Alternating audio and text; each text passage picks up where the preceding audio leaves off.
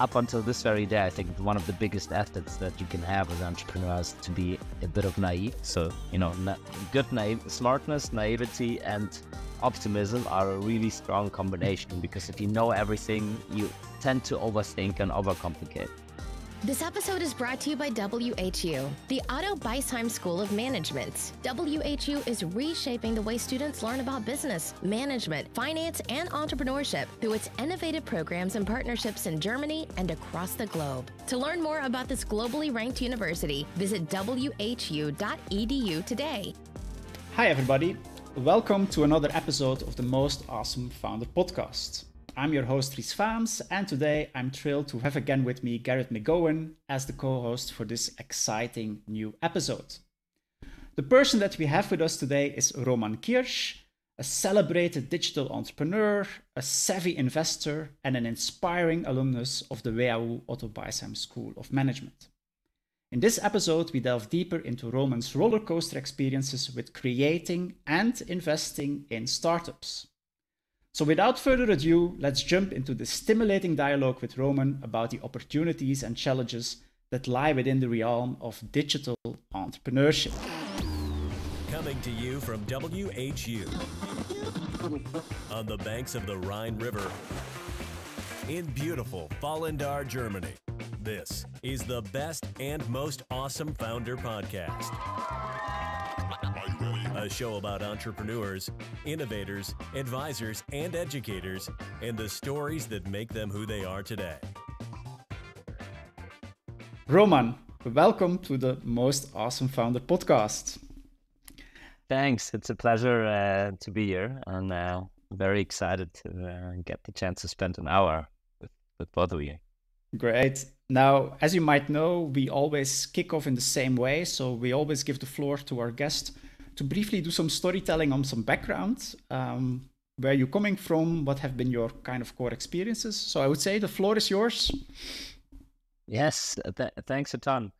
Well, um, where do I start? I actually, um, you know, always have been, um, by coincidence, I guess, entrepreneurial. Yeah, even before I knew what entrepreneurship actually means. So, uh, you know, at school, I was I was really loving to, you know, sell all my um, children's kids products, you know, all the things that I have kind of in my home, or um, or uh, you know, panini cards um, on the flea market. So I was always, uh, you know, thriving in this trading environment. Um, but I actually had no idea what it means to become an entrepreneur, and that's I think where and um, the university WHU came in um, like perfect occurrence because that's uh, the first time where I met really people who, who started companies, who built companies, who scaled them, um, and all of that in the sphere of, of the tech in, um, of the you know beginning uh, tech industry. That was around 2007, eight, um, when I actually started uh, started uh, studying at, at the university. And before that, I had zero idea about what consulting means, what investment banking means, what you know entrepreneurship means. Um, up until this very day, I think one of the biggest assets that you can have as entrepreneurs to be a bit of naive. So, you know, na- good naive, smartness, naivety, and optimism are a really strong combination because if you know everything, you tend to overthink and overcomplicate. So I was definitely naive going into this. Um, and um, yeah, um, you know, when you always have those company presentations or the founder presentations at, at university and um, I looked at the people, and one of the things that I always did uh, for myself is to look at the people who are all 10, 15 years older than you and, you know, try to envision myself being in, in, in those shoes and say, okay, if I'm 10, 10 years from now, do I want to be like that person? No. And uh, the first time I really, I really had that, uh, you know, epiphany was with uh, tech founders, you know, because when the consultants came, like, yeah, that's cool, but it doesn't really uh, uh, connect with me. And um, when we had, I think it was the, the guys, uh, Robert, who, who did Zalando, um, who also just got out of university and came to, to, to recruit um, and talked about what he's doing with so much passion and fire in the eyes. I said, damn, you know, five or ten years from now, that's what I should be probably doing.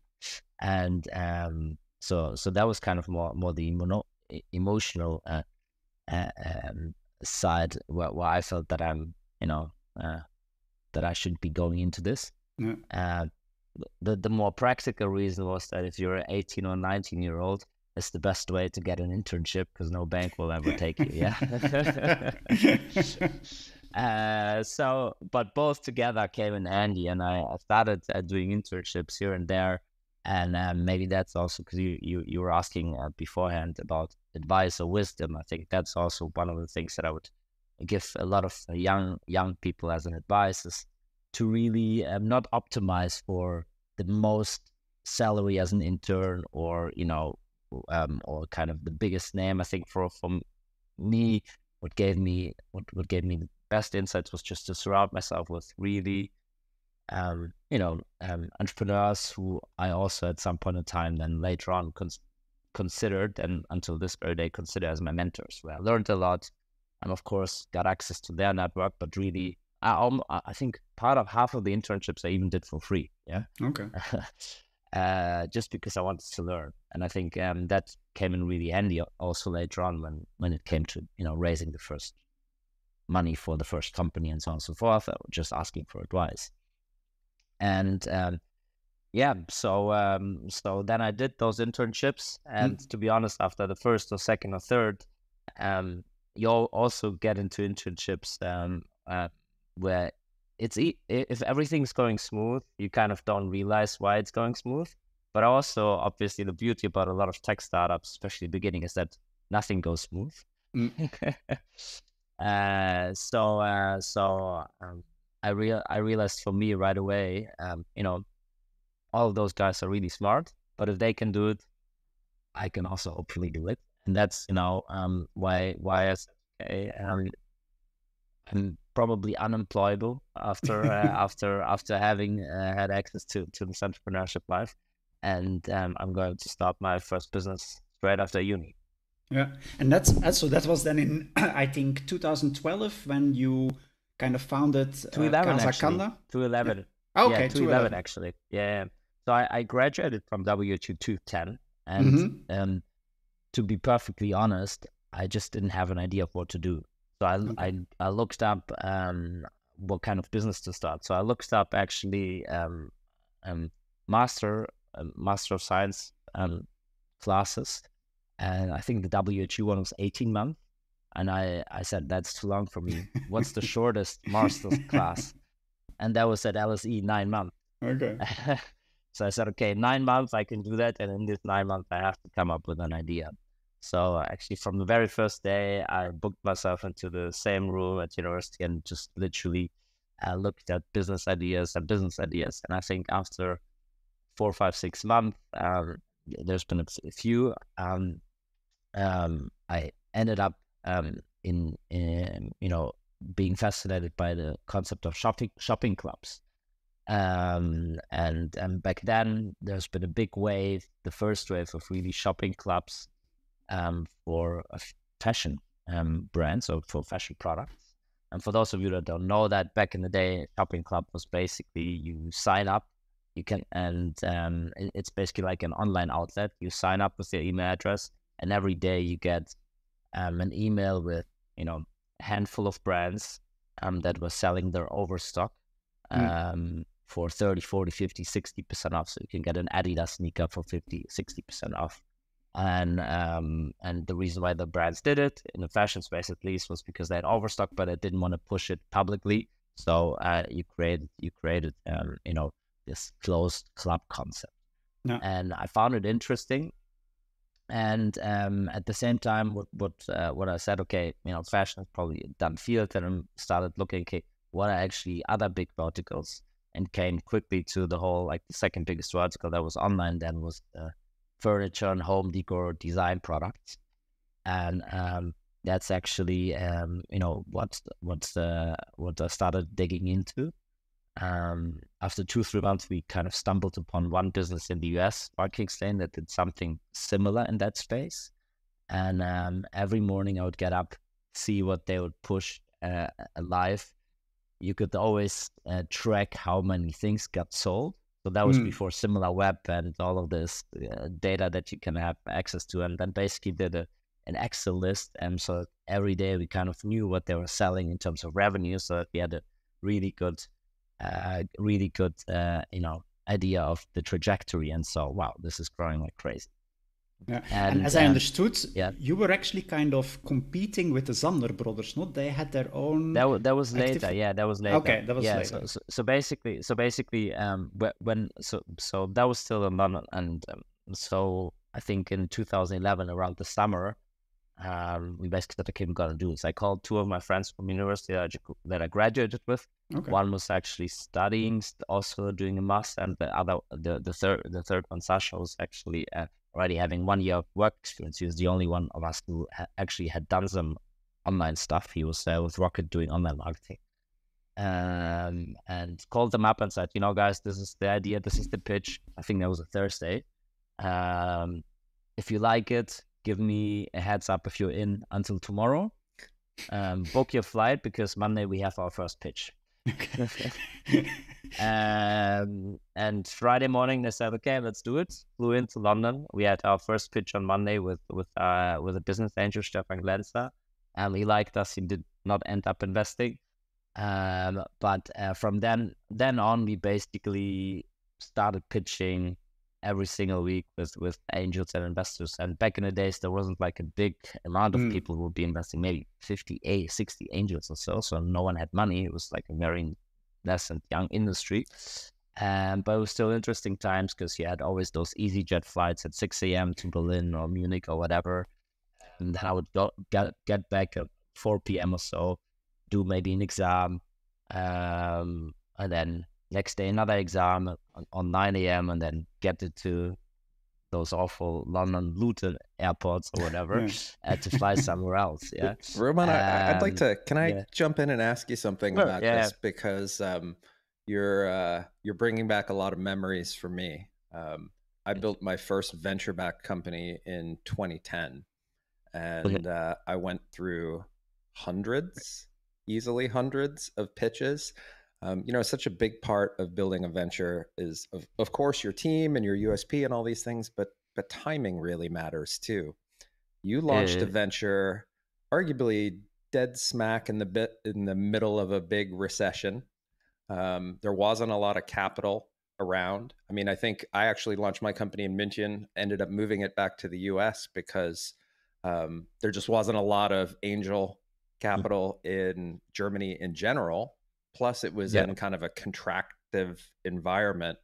How was that for you in terms of of timing? And did you have any reservations doing this uh, um, because of challenges of raising capital, or did you tap into the network really easily and find first capital?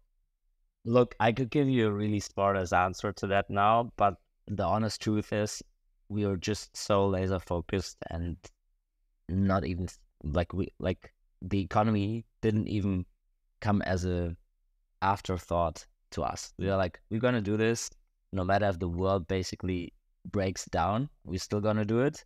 We didn't even think about any external factors. And yes, of course it was it was it was tough to to, to raise that money, but um you know, it it it was just not. It was really not even an afterthought for us uh, because we are, you know, failing was not even an option. We didn't have a plan B. Yeah, basically, yeah. Uh, which which I think comes back to this na- naivety and optimism uh, argument that I had at the very beginning. Um, and yeah, so so I think uh, we we still didn't get didn't have any positive feedback uh, when when we actually moved to Berlin. So we moved to Berlin then after one and a half month after we finished our studies. I finished my studies. Um, rented an office, um, which also served had a second uh, purpose, uh, namely being being the place where we sleep. Um, and uh, basically continued continued fundraising, but also continued just you know calling up suppliers, calling up you know hiring the first people, uh, which was interesting uh, for us because obviously we couldn't pay the interns because we the only thing we had was student debt. uh, so we told them, eh, "This is gonna be a ride of your lifetime. Uh, you got a job." And um, I think after after having cycled to 50, 60 investors or so, um, I remembered that one of the guys that that um, that has been a founder already that I interned with, uh, he told me during my last internship while I was while we were you know going out partying in a club, you know it was my farewell so to say. Um, he said, you know, you're gonna move to London, but if you ever decide to become an entrepreneur and not go kind of to down the corporate corporate lifestyle, then give me a call. I'll invest in you. And safe to say, he was not sober at all at that point in time. yeah. Um, but uh, you know, you don't have anything to lose. So I dropped him an email. and said, Oskar, you know, and this is Oskar Hartmann, by the way, very very okay. successful entrepreneur now. Um, uh, you know, I'm not sure if you recall that particular night and what you said at 4 a.m., but you know, uh, I actually decided to to to start my own company, um, which would be happy to invest. And um, he basically responded five minutes later, yes, sure, hundred thousand, yeah. Wow, crazy! That's amazing. Uh, little bit like, but but shortly after, I realized, damn, you know, our internet is very very spotty, so the the PowerPoint presentation about our business model and what we're actually doing didn't e- even go through. So he didn't even know what we were doing. uh, and then we had a short argument, you know, should I actually send it to him because he already committed, but if he doesn't like the idea, he'll probably, you know, have second thoughts. Uh, but we said, okay, at least he should know what he's investing in. So I said, yeah, thanks so much. And by the way, if you're interested, this is what we're going to do. And then he responded again five minutes later. And wow, the concept actually is not too stupid. It makes sense. So count me was 200,000. Yeah. Okay. so this is how we raised the first 200,000. And then, and from, from that moment in time, it was a bit like domino stones falling because, um, you know, um, the, the whole process got got its own speed and accelerated quickly. He he had to tell his his board and his investors that he um, that he uh, wants to invest because he needed to get board approval. And then the board got intrigued by it. The board reached out to us, uh, wanting to invest. Then the competitors of, of those VCs actually, you know, uh, heard that they are looking at this concept, so reached out to us as well. And then I think by the end of the week, we raised close to a million okay. euros, and we're oversubscribed. Yes, so that's how quickly things can actually change in the world of, of investing in VC. Uh, that is, if, if, you have the first one or two who are really uh, into it, um, uh, you know, it, it, it's it's easier. Um, and I think up until this very day, fundraising is more an art than than a science, and it's a lot about psychology and how how, how you get how you get things going. Yeah. Um, no, but that that's actually how, how we did how we did the fundraise, and by that moment in time, we are already pretty far already with the process of you know signing suppliers, putting up the website. For us, one of the first things that we really focused on in the very beginning is we said we, we are very young, we're like 22, 23 year old, year olds, so we'll not win by getting being the most senior, by having the most uh, having the most uh, you know uh, uh biggest track record and best network or most money or whatsoever the only thing that really speaks to us is and speaks for us is you know um, working really really hard seven days a week up until midnight and actually being really really quick and and and, and having speed. And i think this is what we try to use to our advantage.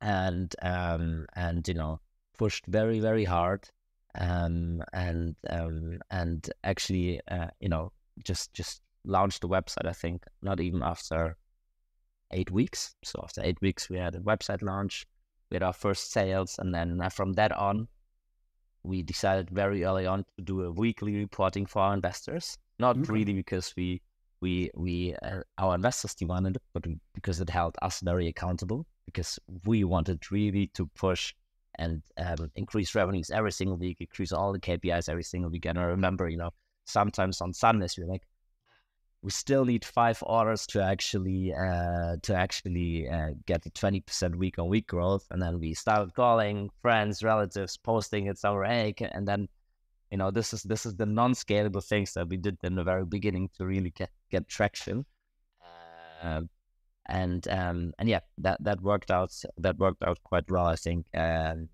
in the first few weeks and months yeah Mm. And then actually, in less than one year, you realized an exit of like 10 million.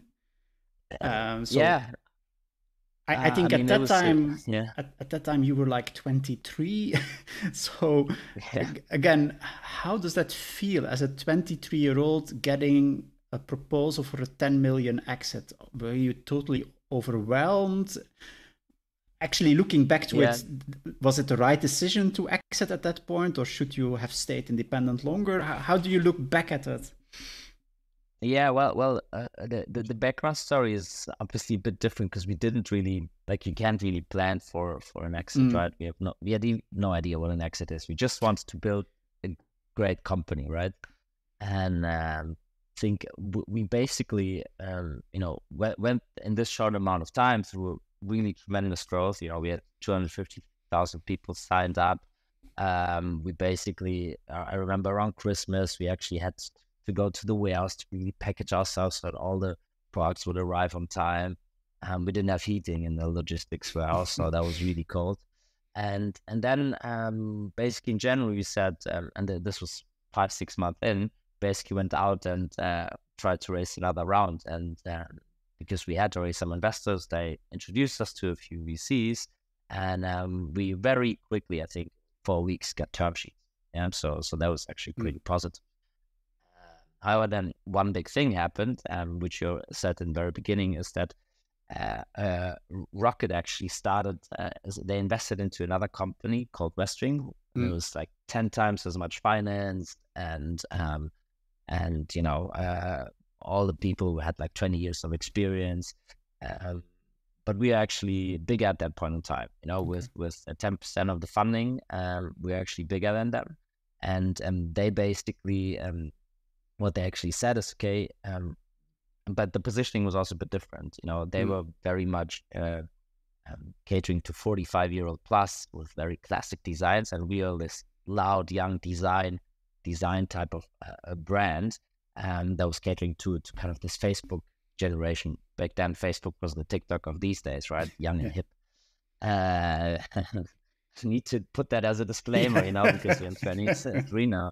Um, and um, and they basically in January decided to just copy our website one on one. you know, uh, even with all the source code and and T's and C's and so forth. And we knew that this is not going to be super successful because they were just, you know, not with the heart in it, and it was just a side project for them. But uh, for the investors, they're very risk averse. Back then, Rocket was, you know, yeah. this crazy thing, you know, where even Airbnb or others were like scared to actually compete. Um, and then the two, three investors that actually gave us a term sheet were like, hey guys, you know, we have to reconsider. Uh, we have to renegotiate. And uh, this was literally two two weeks uh, after they gave us the term sheet, but also two weeks before okay. we ran out of money. okay. Uh, so they're like, yeah, but wouldn't you still be interested to invest? And obviously, they they got cold feet. Um, and at the same time, um, a US company actually saw that, and um, Fab.com that actually ended up buying us and said, you mm. know what, we we are, we are growing so quickly in the US, we don't want Rocket to actually own the the market, mm. and uh, went to Berlin, and uh, by that time there was three, four, five companies uh, in that space. So they interviewed uh, or like talked with everyone, and very quickly settled on just wanting to work with us and said, you know what, guys, we just raised 40, 50 million. That's more than you could ever raise. You know, with mm. as, as a 23 year old, even eh, like back then, I think no single company in, the, in, in Europe actually raised that much money. And uh, the deal was, you know what, um, we're gonna give you 50% of that fundraise, you know, um, just to build the European business. Um, Europe should be as big as, as, as, as the US. You're going to run this together with us. So let's, let's do it.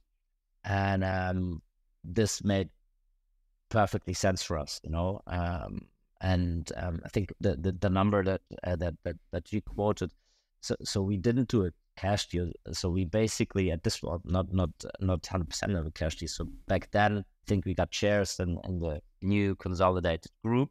So it was not yeah. for us, so to say, cash out or exit event, but we basically said, okay, we believe in the vision. Company is now valued altogether, both companies, maybe 100, 100, 150 million or so. and um, let's let's make this a billion dollar business. Yeah, and um, this is, I think, well, the, this was for us the, the, the main motivation to be part of something bigger uh, that that uh, can be one of the you know first unicorns, uh, and I think um, that's what we also achieved. I think one one year in afterwards. Yep. So I okay. think after Amazon, after Amazon, uh, Fab and Zappos, Fab was kind of third e-commerce uh, uh, unicorn. Um, two years, two years in. Yeah, and uh, this was of yeah. course very exciting for us to be part of that. Yeah. Roman, as a as a guy that came into it with the passion to build yeah. and to be an entrepreneur, um, now you're still super young and idealistic and motivated, and now you've become not the top of the food chain in your little company, but somewhere slightly below that in a much larger company. How yeah. did your kind of experience change from being really the founder and the driver to now being a cog in a much bigger machine? It really sucked, yeah. Mm. Heard that one before. Yeah. Um, no, I mean, uh, um, on the positive side, this was still a startup that we sold to, right? So this was not like a big corporate. So, um, but but of course, um, you know, it, um, so, so things were still going quick and things moved moved along quickly but um, it definitely is, is, is a big change in, in mindset and mentality, right? So you, uh, up up until this very point, uh, you're really making you you know the, your business best, and that's why you can make the decisions in, in the best way. And then you kind of have to get a lot of approvals for uh, you know things where you're like, come on, guys, you know you, you're just slowing us down, and um, I'll, are you gonna make this approval six thousand kilometers, eight thousand kilometers away? without knowing actually the business. And um, I think that that was at least my perspective back then. Obviously, now in hindsight, you somehow need to have like streamlined processes and, and, and things like that. But but it it definitely uh, was a lot of uh, clashes around processes and so on, and, and how to get it, how to get structure into the organization, um, without slowing it down too much and yeah, we had we had a lot of uh, a lot of uh, a lot of clashes. Also because our company culture was very much around um, speed and numbers. You know, WHU school, yeah. uh, and the the the the the Fab company culture was very uh, classic US um, US consumer focus, which was it's all about the brand. We would worry about the numbers later and so on and so forth. And I remember, you know, we had uh, really mental breakdowns because we, we you know, th- there's a shopping club model, so we'd have a newsletter every single day. And then I think one day we did like an anniversary newsletter also where we kind of celebrated our one year anniversary. And we had like some faces of employees and to us it looked like very authentic. And then I got this call from the the, the Fabco founder all the guys that I see as faces on this email should be fired. This is horrible. And he was very emotional about it. Like, I can't fire 25 It's because their faces feature in the newsletter. And then he flew over. We had to bring everyone into this conference room in the hotel, and people were like, shaking. so it was it was definitely a big clash. Um, and that's also the time when I said, okay, I can't really do this for longer, you know. I'm happy to kind of least give over the table, but you know, a big fan of opportunity cost, or the concept of it. Or basically, basically said I'm gonna, I'm gonna uh, leave and, and uh, get involved with with uh, new things because I had already back then a lot of new ideas about what can be launched and what should be launched. Yeah. And and out of curiosity, what was his problem with the 25 people on the newsletter? What was what was the issue? From his point of view, it was off brand. Mm. It was off brand.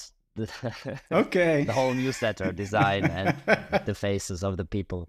okay. This is an in- interesting topic. It's just one that I'm passionate about being half American, half German, and having built companies on both sides.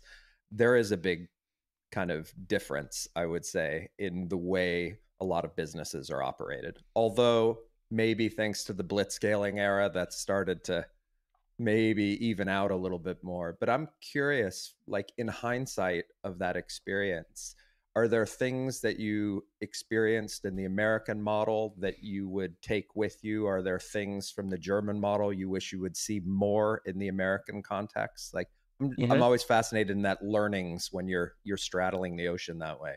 Yeah. No, look, I think um, um I obviously thought about that a lot as well. I think um, um, the the US mindset works really well for uh, for um, industries and business models where you have a leeway on the margin side. Mm. Yeah. So uh, that's where the brand really comes into play. That's where you can hire a lot of people, be it engineers or whatsoever, to kind of double down on investing in technology. Um, you know, um, it works really well for business models that have network effect. Think the Ubers of the world, you know, yes, you invest, invest, invest, but then once you won the market, you can you can kind of uh, you know start in, increasing your margins. Um, I think that's that's where the focus on brand and technology and doubling down and winning winning with a lot of money um, works well. I think kind of very narrowly coming to kind of, for instance, consumer brands, which I kind of did the past 10 plus years most of the time. That's why you have to re-win the trust of customers and consumers every six, 12 months. It's a lot about processes and structure and um, and let's face it, you know, you, the, the margins are not great. So if you could, I think that's where uh, yes, you you you you know things like branding and how you position, how you do storytelling do matter, but um, but they're kind of the icing on the cake. You still first have to get your margins and your operations and, and all of that right. And I think um, up until this very day, if you look at a lot of this, those D2C consumer brands in the US, none of them were really a success. They were very Mm. hyped, you know, the Hypers, Blue Aprons, and you know, Honest Food uh, uh, of the world. They, you know, uh, away the luggage brands. So they're all Allbirds. So they all raised hundreds of millions, but um, their HR costs are more than the revenues. Yeah. um, and that's a very different mindset. So I think, um, so I think it, it's uh, so for for kind of uh, consumer brands, we have to be very efficient. Uh, can be tricky. Yeah, but that's also one of the learnings that I just had on the way. Um, Right. and yeah, Right. it's easier to say now than yeah. Hindsight is 10 years twenty twenty, yeah. right? Yeah, Uh, yeah, yeah. Uh, so you you find you eventually step out of Fab, and Uh-huh. I guess this was 2012, 2013, and if Yeah. I understand correctly, there wasn't a lot of break in there before you got back into the founder saddle again. Yeah, so I think I, I did um um so I- so I did one week of of, uh, of holidays in the in the Maldives, and then I was on day number four. I was like, "Damn, this is so bad. I don't have internet. Can't really check my emails. You know, before I had like three, four hundred emails, and um and then I went back and um, I started doing my first angel investments. So um so I was just you know good um, even then without really overthinking it um, then um, that's number one. Number two is I had actually um, a few ideas in, in the back of my mind, and I couldn't really execute all of them. So um, I had I had one girl from that was interning with me from our Business School, and she kind of wrote me. I said, "Okay, every week you have to write a different business plan for a different business idea," and kind of uh, the first one was, uh, and you know, the the first ideas were around spin-offs of what we did with fab basically or focusing on on verticals and um, one of the things that that um, she came up with was uh, the the best selling um, best selling uh, uh, campaign that we had was actually vibrators. And um, so uh, I, I went into the office where there's been a lot of um, th- there was the former Springstar office where you know Airbnb was hosted but also a few entrepreneurs were working on their on the ideas. And I met another guy Sebastian Pollok, who's actually, you know, just moved back from San Francisco and said, you know, I want to do something, but I have no idea what. I want to do something in the healthcare space or there. And then we were just discussing, and then I said, you know what, I just had one girl who worked on this on this topic, and it's been working really well for Fab. So far, it's been a very male-dominated industry, but we position, you know, Fab customers are eighty percent female, so maybe there's something to it. And um, so first reaction, of course, from everyone was like, "No, we can't really do that." Um, but then, then I think um, it kind of grew on him and then also on me. And I said, you know what? Um, I'll take most of the money that I had from the first exit. If you're really up to do that, um, I'll, I'll just invest all of it. Yeah. um, and that's that's how how basically um, he became the, the, the, founder and I the founding investor of uh, of Amorelie. Um, also, a lot of learnings on the way. Basically, a week after I transferred the money, we realized that Facebook and Google blocked all of our accounts because it's not mm. allowed to mm. advertise. And like, damn, okay, I can write that off right away. Uh, then we realized the months in that um, that uh, investors cannot invest into into this category, right? Mm. Because back then, not now it's obviously you were positioned as femtech and everyone would invest in it, but back then it was like, okay, weapons, drugs, sex doesn't work. Uh, we had, I think, in the beginning, two, three other co-founders who all kind of, because of that, stepped down. Okay. Uh, so out of four or five people that started, it was just uh, Sebastian and Lea who, who stayed on. Um, but yeah, it was uh, it was it, it, was definitely a big ride in in the, in the first six months, and um, you know it took way way longer to exit that business, not one year but two years. Yes, after two years, we sold it to ProSiebenSat.1. Um, but yeah, it, it was definitely de- definitely an interesting um, moment in time. In the meantime, I already and I think that there was um, so, so I think Amorelie was end of 2012, so I, I left that in 2012, end of 2012. That's when we kind of also started uh, brainstorming the idea of Amorelie. Got started in Q1 2013, and then I think I actually um, already worked in parallel on Lesara, um, mm. which which uh, started in summer 2013. Yeah, and where we went live in September.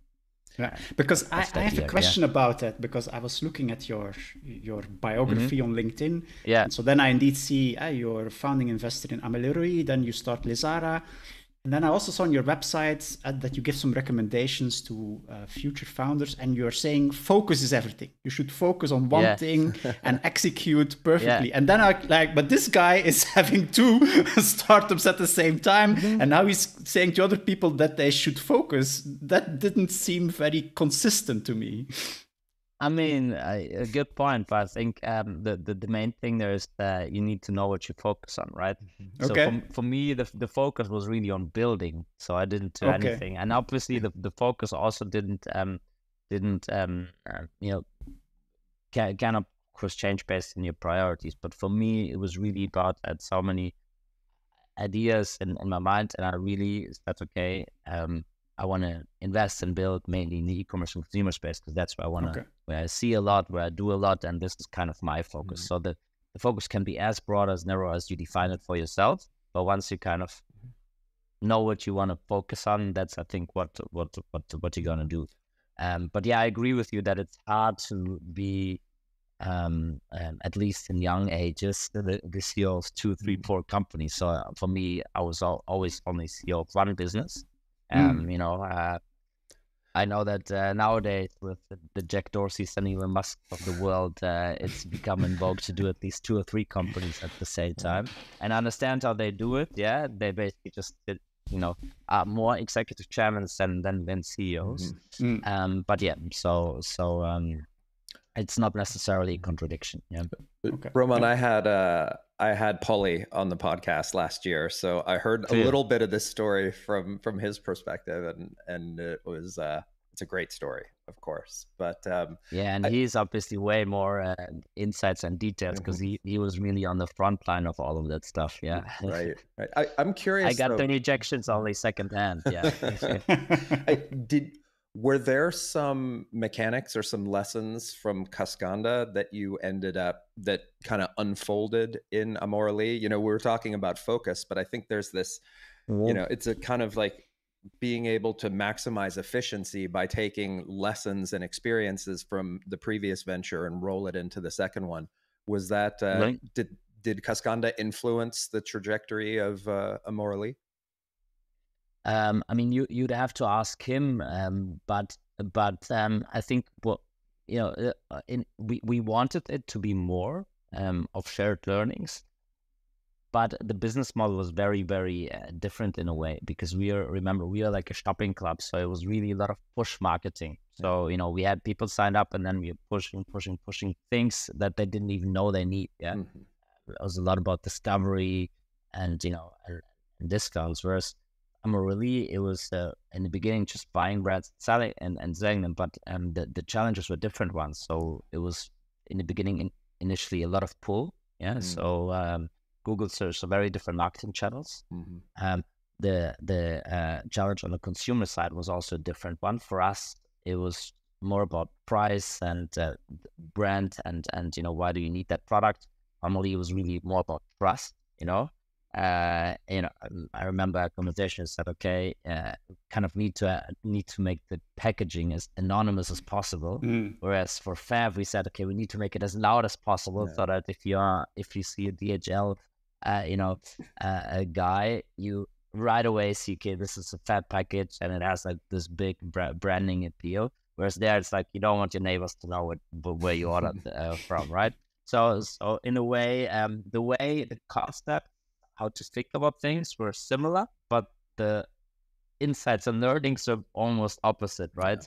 Because yeah. uh, it was a very, very different uh, uh, positioning. Mm. Uh, but I, I yeah. suppose the the linkage between Casacanda and Lesara were much bigger, not? Because I think they're yeah, so there, there it was, it was much bigger, and so um, because it's also very much push marketing driven, um, and um, you know, it, it, it was also in initially the concept of showing people things that they not necessarily know they they need, right? Mm. Um, and that kind of you know drills down to the marketing channel. So it was also very much social media focused and um, and um, and push marketing focused. And uh, the challenge was always about creating newness. You know, we had uh, I think at the peak 2,000 new SKUs every single week that we mm. pushed. Mm. Um, and uh, remember, these are not things that we buy these are things that we design, create, produce, and then sell. So it was a, a bit of a different challenge there. Yeah. Yeah. So this is uh, this is one of the cra- craziest kind of two to three year journeys I've I think I've ever heard before. So, I mean, you found Casacanda within a year, you exit, you join Fab. In the meantime, you you are a catalyst for the start of Amorelie, and then within the same year or within a year, you start yet another company.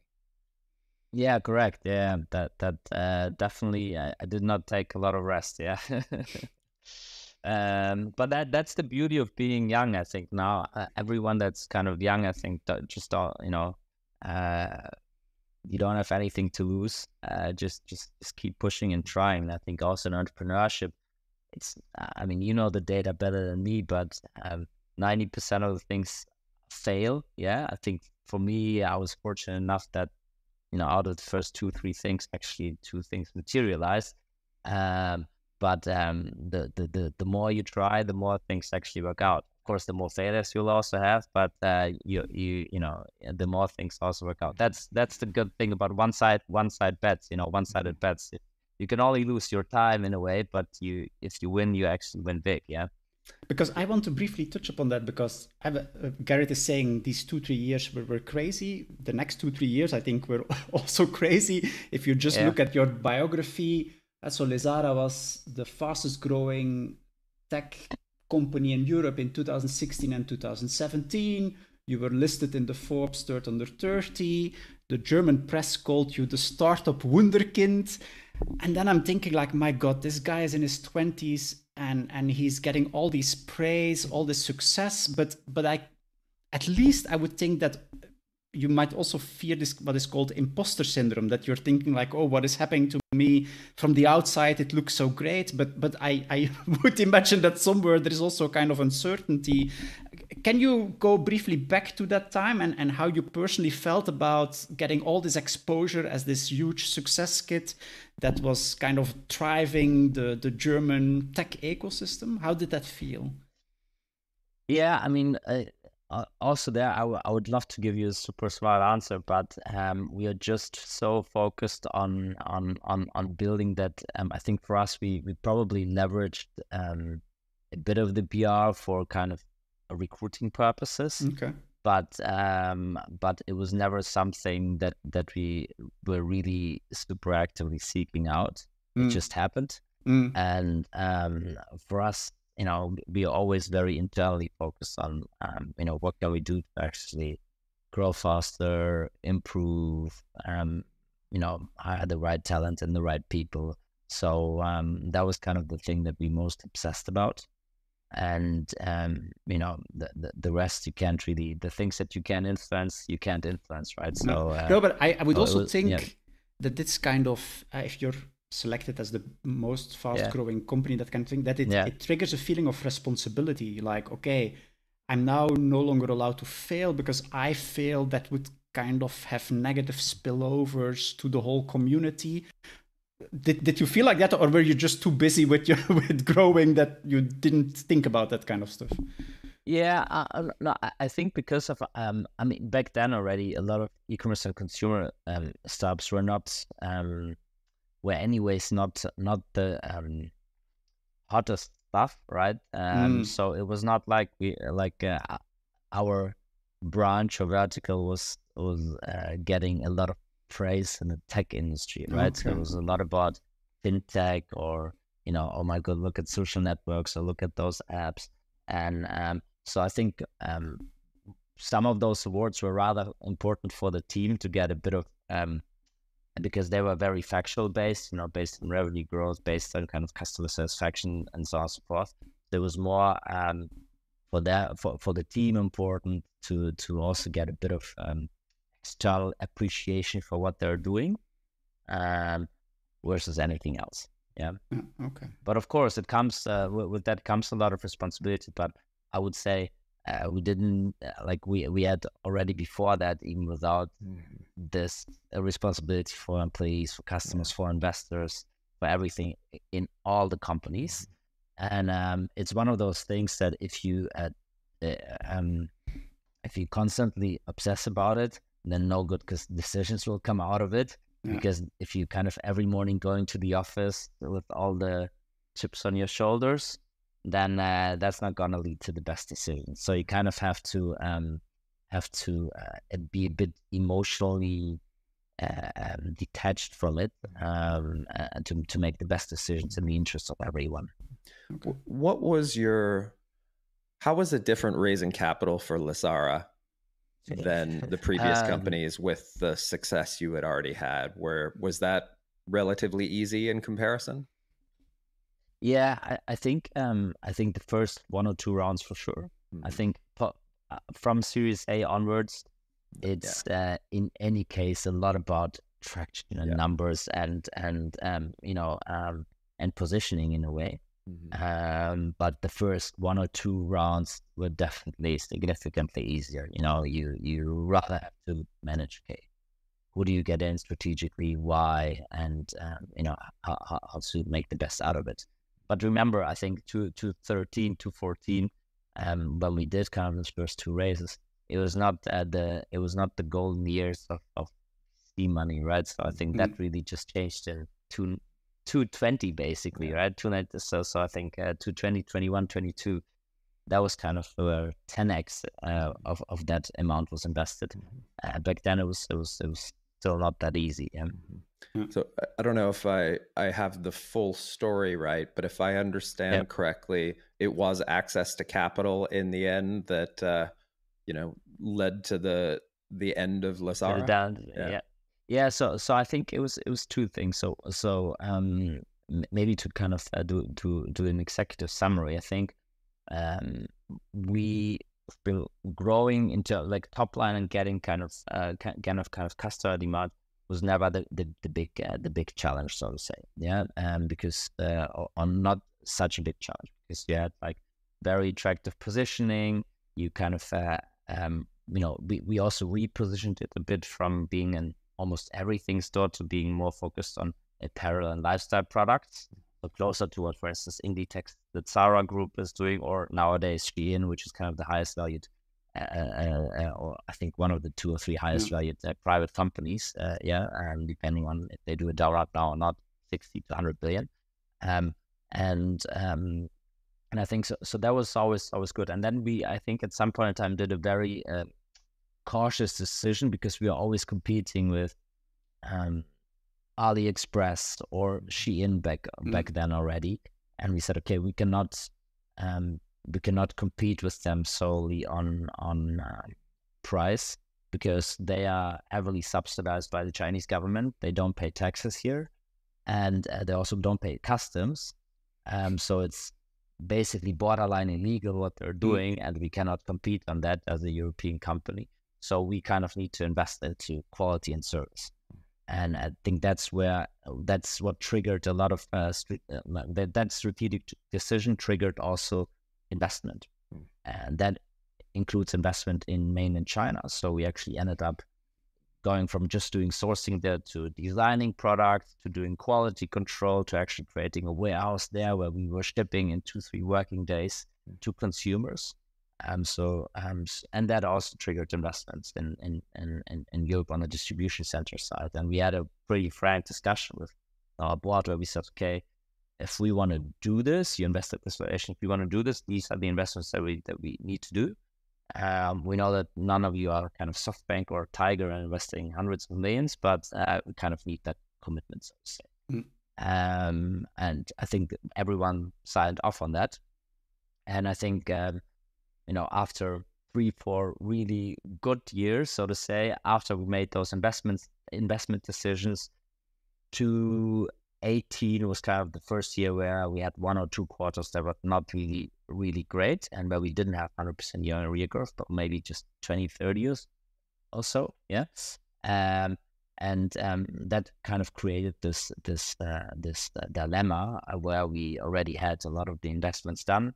We didn't have a lot of uh, you know um, fin- um, backers that could really financially uh, uh, you know uh, fund us unlimited almost yeah Mm. and we had kind of this uh, very strong uh, competition from China doubled down exactly at that point in time um, with with uh, the investment um, and I think that in the end was kind of a negative perfect storm where where um, you know we we obviously were fighting and going left and right to kind of figure figure things out but it was a so to say for us a negative perfect storm um, the one thing that that um, um, you know is in a way interesting is that a lot of other Western companies who are in the same spot. So, for instance, or in a similar spot. So, I'll give you an example. Wish.com, for instance, was a mar- marketplace, but but um, not kind of not not a retail model, but a marketplace, but going into the same demographic, and they are pretty big back then as well. IPO'd for I think eight nine billion,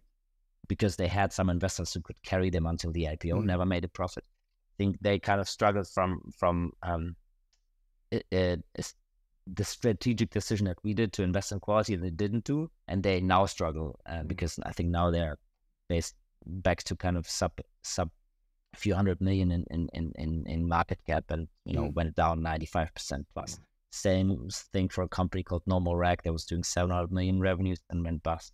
So I think um I think it's it's it's really hard uh, um in that to compete in that space if uh, your competitors are heavily subsidized Chinese uh, uh, companies. Yeah, so so I think that's also one one of the learning uh, uh, for us. Yeah.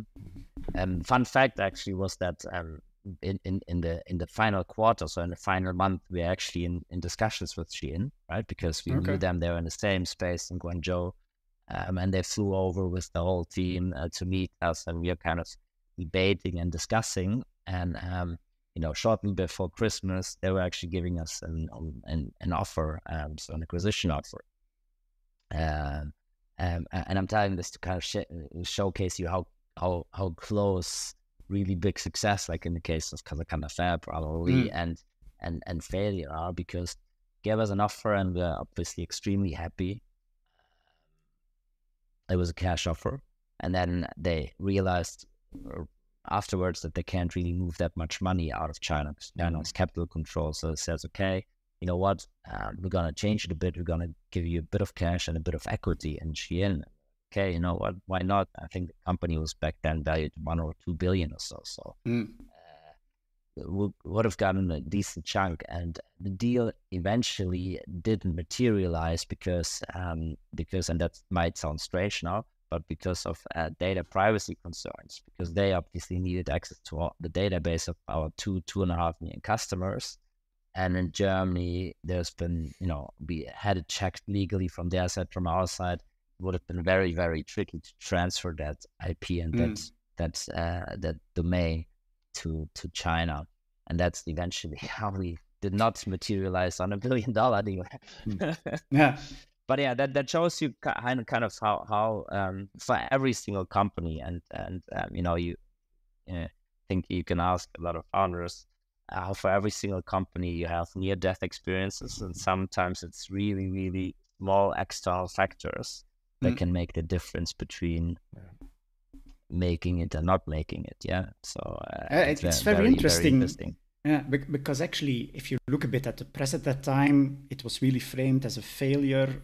Also, to be honest, yeah. for you personally, it was framed as failure. Yeah. So, as you would see in 2016, 2017, you were seen as the wonderkind, and then two years later, and as you describe, uh, having a close call between a huge success yeah. or a failure, you're suddenly seen as the, the the wonderkind falling down from the cliff.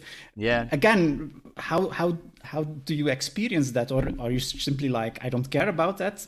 That, that for no, me, that would be difficult to believe, but yeah, no, I think obviously you have to separate between the emotions in that particular moment and then kind mm. of looking at it in hindsight. I think to to be super frank, um, I think um, um uh, it's uh, so, so in this particular moment you're also mainly functioning because you still have responsibility, right? So it's mm. not like you, you're almost on autopilot mode um, and trying to make the right decisions for the team and obviously uh, uh, for of the employees. And there's a lot of stuff that where we had to kind of uh, uh, fix lo- lo- loose heads and, and, you know. Um, but at the same time, I mean, sometimes you have sleepless nights because you have so much work. Obviously, there you have sleepless nights because you have so much concerns. Yeah. Mm. Um. So so definitely, I think it, it takes a toll on your mental health, one hundred percent, right? Because but but not in that particular day, but even the month before. Uh, sometimes it's almost a relief when you say, okay, now you worked so hard, that's the best we can do, and and um and and and and um and um, yeah, now now that's it.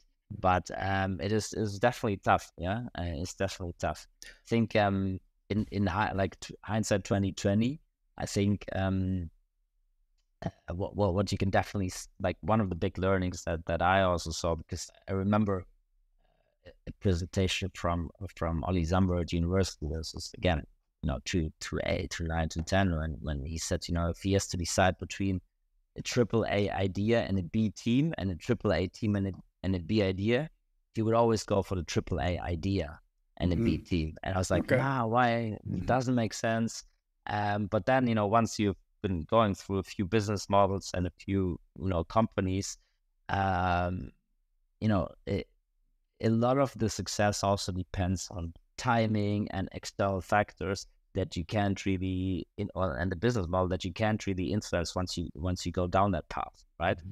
and i would say from a lot of the companies that i've been involved with this was probably one of the top one or two setups in terms of team and mm-hmm. skill mm-hmm. and culture and so on and so forth but we were just uh, playing in the wrong game or in the wrong field at the wrong time. Mm. I think um, having having that having that um, insight or having that understanding of how the business world works gives you also a bit of peace of mind at some point in time because it's sometimes it works out well, sometimes sometimes it doesn't, and as long as you kind of worked very very hard and didn't give up on the particular particular you know business, then uh, then it's not always 100% in your hands. Yeah? Uh, it's interesting what you said about Ollie Samwer and this, you know, yeah. this decision between great idea and okay team and, and vice versa.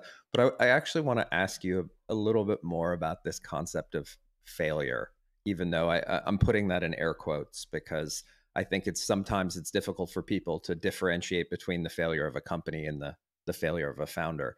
But this is one of the questions I've asked other guests on this podcast before because I've heard similar things like you heard from Ollie Samwer about failed entrepreneurs.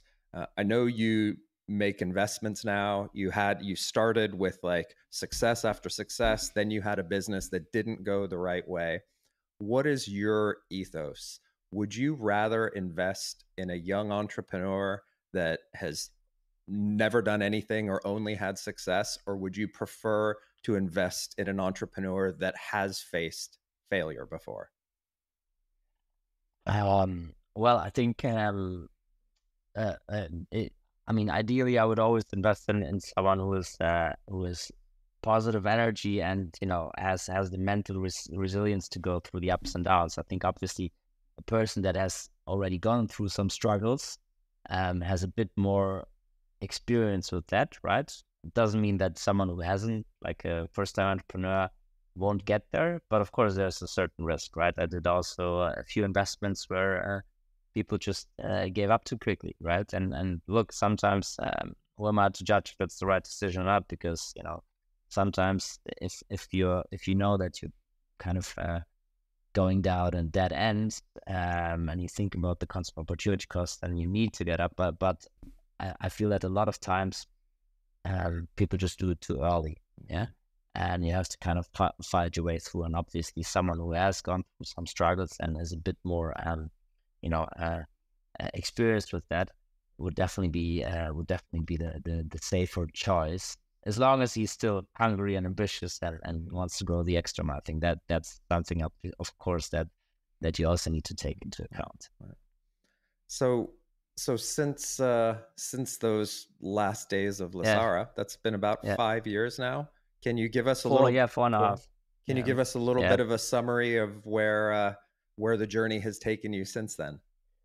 Yeah, look, I think f- for me, um, again, then I didn't have a lot of break because um, I took some break because obviously the, more than one week or how much yeah, time this time? yeah.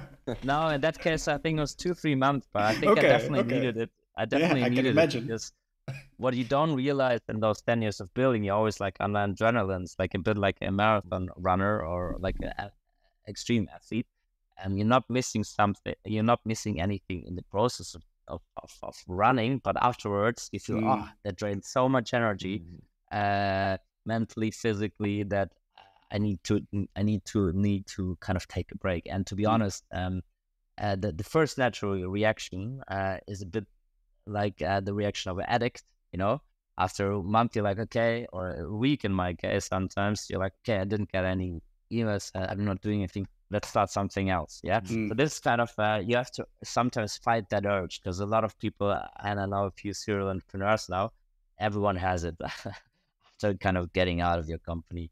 Uh, this urge to kind of get get into onto the pitch again. Yeah. Um, in my case, I think in, in that particularly in, in 2019, um, um, I think after two three months, um, um, well, one of my um, former employees were invested in Sebastian. He, he did. He was uh, back then already, uh, you know, um, scaling his his uh, D2C brand Fitvia. Where I mm. was, mm. he did basically just one round with me and another angel, and uh, he was one of my first interns at uh, Fab slash Casacanda. That's by the way a pattern that um, you'll see also now developing um, and already developed there. That I really like to um, in kind of hire people who think entrepreneurial. So the best choice if they actually end up doing something entrepreneurial afterwards. And a lot of companies and people that I'm involved with now have been working with me at my previous companies. Mm. Sebastian was one of the first ones. He was interning and you know basically said had probably the same conclusion that I had when I interned. He said if, if, if this guy can do it, I can do it too. Yeah. Mm. So he started uh, his, his his own. Um, he was one of the first pioneers for um, for um, you know D2C consumer brands that scale via via influencers and creators, what you call now creators. And that business uh, was was a company called Fitvia. So they sold first um, beverages, tea on uh, via creators, and then actually beauty products with Bella Via in 2019. So that's uh, when I was already invested for four years in. Um, basically sat together and he said, okay, let's let's structure uh, let's structure a process where we sell the company. Um, and um, that's where where you know I was uh, I was kind of assisting and helping him with. We hired obviously an advisor, And um, after, I think in the summer, around the summertime, we actually ended up selling the business um, to to a German stock listed company, Dermapharm. Mm. And um, that's when that's when I realized, you know what, a lot of the things that actually I've I've been doing um, for a particular vertical make much more sense for categories that are highly profitable, have high margins, and where you can actually scale the same type of business with the same machinery, so to say, and processes, um, but in a profitable way, in a capital efficient way. Um, and so since then, I think um, so that that exit was in 2019, Okay. and then since then, I actually um, you know focused a lot on both working as a founding investor or as a normal just angel investor um, to kind of co-found or invest into businesses that that are coming kind of from from from, from that space. And um, I think the first in, in 2020 we basically launched um, two companies. One was with uh, two former employees of mine, um, and Veronica, uh, a company called Yepoda, where I was a founding investor, which is basically a uh, yeah, D2C, uh, a consumer brand for Korean beauty. So Korean beauty is kind of the next thing after K-pop and Mm. Korean fashion uh, and Squid Games, K, K movies, um, and um, really, really uh, impressive execution. I think this is going to be a company that probably that like do- doesn't make a lot of noise in the investor world, but um, that's because they they they've been profitable since the second year Okay. um, and growing really crazy. And we have a lot of things coming up there. So it's a company that's now present in Germany, Italy, Spain, France. We launched in UK now this month. Um, we launched a male brand. So Yepoda is a brand for females. We launched a male brand, looking to get into retail and create and do our own stores. So kind of the the all a lot of the D2C consumer brands go from having a single brand on on on Instagram towards multi channels, so selling on Amazon, having their own stores, going into retail, um, and also going multi brand. Um, so that's one company. Co- Another company in the cosmetic space called Happy Glam, which we now merged as well, and create kind of sustainable, uh, yeah, beauty and lifestyle uh, holding. Um, so, so, those are, for instance, two two consumer brands in the beauty space. Um, one holding, which is called Berlin and, and, and Brand House Berlin, um, which is basically doing the same in the apparel space. So we create their community-based uh, fashion brands. Um, for instance, a company which is a brand which is big in in, um, in the el- electronic uh, fashion scene, yeah, Vertere Berlin, um, and those are also former employees of mine. So kind of holdings that create great brands in, in their verticals. So I think that's something that uh, over the past uh, two three years we've been scaling quite quite a bit. Can, can I Um, maybe give you yeah. briefly a pushback because now Yeah. that you make the list, I hear you saying, Yeah. okay, these were former employees of mine, these were former employees Yeah. of mine, and before you were saying I invest or I should invest in great ideas and maybe B teams, but here it seems to be actually that you're really aware of who is founding these companies. So No, so, so so I said that in the context of what what I heard, what what I kind of uh, received as is as wisdom, so to Okay, say, at my university team. That and uh, um, the best case is obviously to invest in in Okay. uh, A ideas and A teams, right? Yeah, but yeah. if you have to kind of uh, make that decision, okay, um, then I think that the the idea is way more important. Or um, like you can have the best team in the world if they work on a not so great idea, Hmm. they're not gonna make it. Yeah. Um, I think that was just the insight because before that I thought, okay, if you have a good team, you can figure out everything you want, and uh, you can basically just you know create a trillion dollar business with uh, with dinner kebab stores. Yeah. Uh, so that's not true, unfortunately. Okay. or at least it takes way longer. Yeah. Um, Because I sometimes Yeah, also so- hear, yeah. I sometimes also hear, if you have a great team, they will pivot anyway to to a good idea, as long as they are a great team. that no that that's that that's that's true and i think uh, the necessity to pivot uh, uh, is inherent in almost every business model you Mm. know? You you always have to iterate you have to be quick you have to have almost I, I like the concept of low ego. So you know where you, you you have an idea but if it doesn't work if the data doesn't tell you that it works the customers Yeah. tell you that it doesn't work you have to change it. And um so so that's that's that's 100% true. But you're still stuck like if you for instance in our case with Lesara we, we we couldn't pivot to um, social Yeah. network, you Yeah, know, okay. uh, or we couldn't pivot to kind of a, a, a neo bank. Yeah. Yeah. So you're still stuck in, in, in, a particular field, in a particular vertical, um, and have some sort of legacy if you're already building and having a team and, and, people who bought into that vision also on the investor side. Yeah. Yeah, clear. So yeah, so in a nutshell, to to Gary, to, to answer your question, so uh, a lot of time goes on actually co-founding or being a founding investor of kind of those consumer brands. And I think then um, I was very lucky to kind of, you know, with time having had a lot of access to um, to to kind of uh, both consumer brands that that I invested in. So Everdrop, for instance, from Munich, um, Wild, but also um, companies that we use. Yeah, so um, I think uh, my my biggest anti portfolio is we we are one of the first customers of Personio or Forto, which all became kind of unicorns. And then after I said, okay, you know what? Everything that we use as a brand, as as everything that we use, actually, every software, just gonna invest in it. Yeah, so so that has worked out quite well. Yeah, um, and uh, so so I think the, this kind of the uh, the two two things that that I focus most of the time, being kind of very involved with the companies where I've been a founding investor in, and then also uh, investing and more passive, like I'm still involved, but more, more, than business angel into into um, a bunch of uh, a bunch of uh, companies. we, we have to wrap things up in a second, but I do want to Yeah. ask you one more question about that.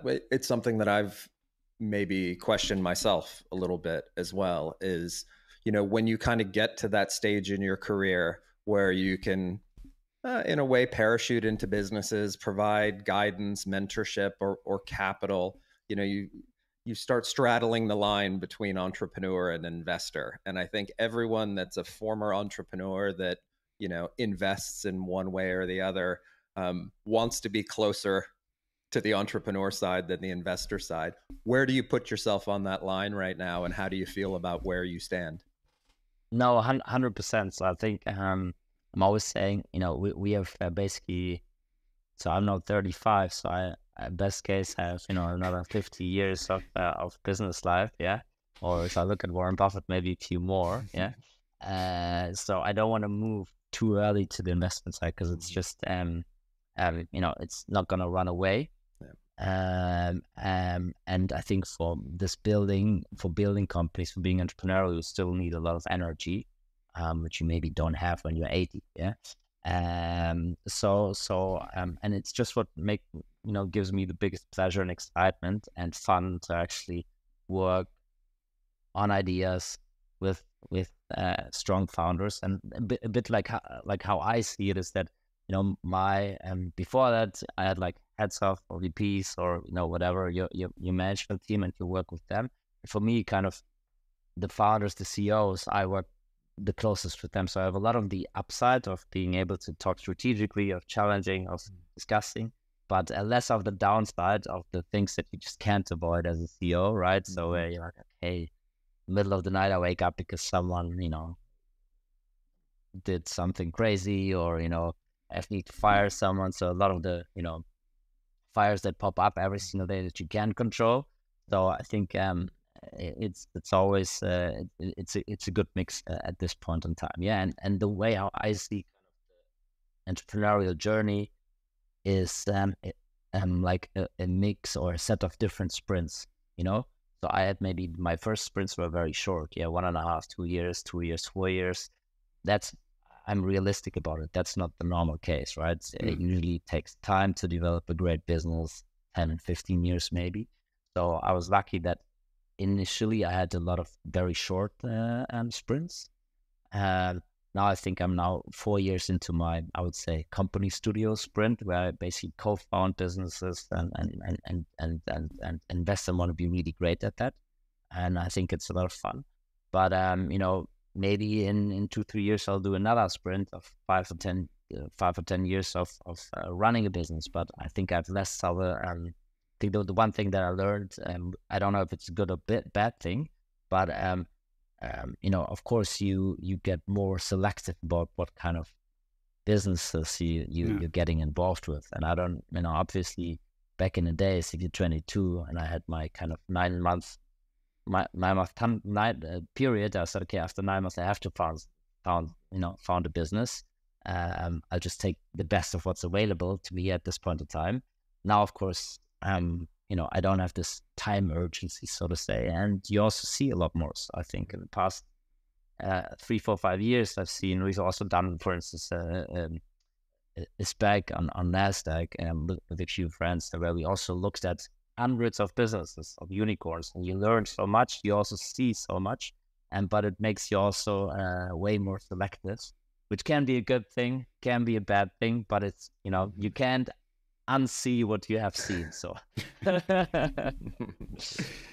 Okay, Roman, again, given the time, I think we almost need to wrap it up. We always end with, with one uh, very specific question. Do you have any suggestions for a particular book or a podcast that our audience should listen to or read? Yeah, um, look, I think um, I have two or three things that really shaped my thinking. Um, okay. So uh, I think uh, Nassim Taleb, you can read anything from mm-hmm. this guy. Mm-hmm. Yes, I think um, one of my favorite ones is like skin in the game, the concept of skin in the game. Mm-hmm. Um, I think a bit more light, uh, but still very, very uh, good, uh, predictably irrational from from Dan Ariely. I'm not sure if you heard heard of that. No. Um, very strong, very strong book. I think uh, um, it's it's about how you know people are not rational and how you can actually use that in the business okay. context to mm-hmm. kind of uh, your advantage. And um, in, in, in kind of the same bracket, uh, Kahneman and Tversky, yep. uh, thinking fast and slow. So mm-hmm. I think super strong concept. So those are more kind of tougher, like a more. That's a heavy uh, read. theoretical books, yeah. I would say more more kind of entertaining ones. Uh, um, Chip, if, if you've read uh, Matthew Walker, Why We Sleep. Oh, so yes. I think that's actually about the importance of sleep, mind blowing, eye opening. So uh, obviously, uh, I'm I'm glad that I read it in my 30s and not in my 20s. Otherwise, I don't know what what would have happened to my companies. Yeah, um, and then um, Arnold Schwarzenegger, Total Recall. So I think mm.